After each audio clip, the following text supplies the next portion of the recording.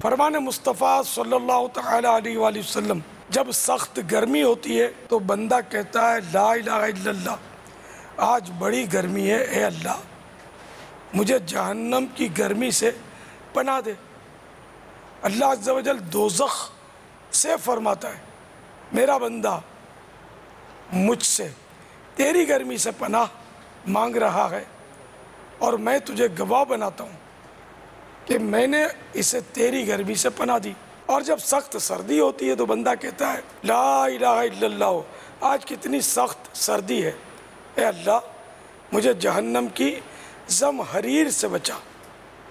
अल्लाह ताला जहन्नम से कहता है, मेरा बंदा मुझसे तेरी जम हरीर से पना मांग रहा है और मैंने तेरी जम हरीर से इसे पना दी।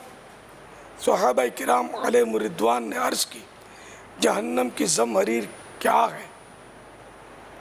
फरमाया, वो एक गड़ा है, जिसमें काफिर को फेंका जाएगा तो सख्त सर्दी से उसका जिस्म टुकड़े टुकड़े हो जाएगा।